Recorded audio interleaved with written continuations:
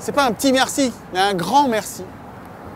Le grand merci que je voulais faire à, tous les gens qui nous ont suivis sur les réseaux sociaux, c'est de leur dire que des bagarres comme celle qu'on a fait avec François Gabard, euh, elles euh, donnent de l'énergie, elles donnent euh, l'envie de continuer, elles donnent envie de,